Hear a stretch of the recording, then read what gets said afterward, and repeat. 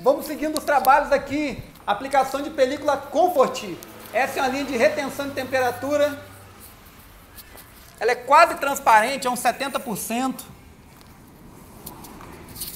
Evandro aqui na aplicação dessa Ferrari 360 Modena. E eu queria mostrar para vocês aqui o teste no aparelho aqui, a retenção de temperatura. Essa aqui seria a linha profissional. Olha lá. Ela faz uma retenção de temperatura em torno de 9,5, né? quase 10%. E agora a linha Comfort. Olha a retenção dela aí. 86%. É isso aí.